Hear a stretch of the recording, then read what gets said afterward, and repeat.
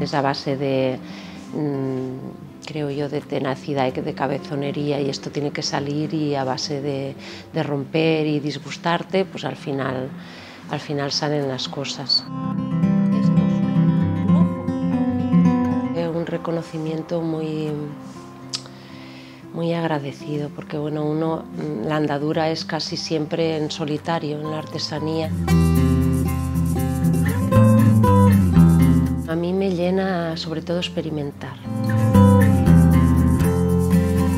Tocamos mm, casi todos los palos en el vidrio y más que esperamos. Hacemos cuentas de vidrio. Nos hemos especializado también en las cuentas fenicias. Después hacemos vidrieras para domicilios particulares con diferentes técnicas.